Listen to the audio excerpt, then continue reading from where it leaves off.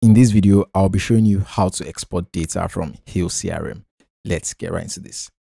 You can export any kind of data from Hail CRM. And in this particular video, we'll be exporting the opportunities we have here.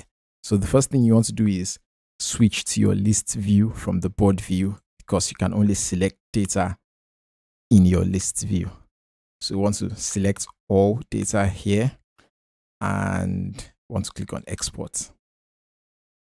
So once select CSV, I'm going to export all fields and you can choose the field you want to export here, but I'm just going to export all fields and click on export. So this downloads an exported CSV of my opportunities. I'll open this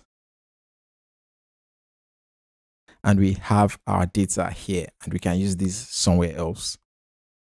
And this gives us our full data. So that's how you export data in Hail CRM.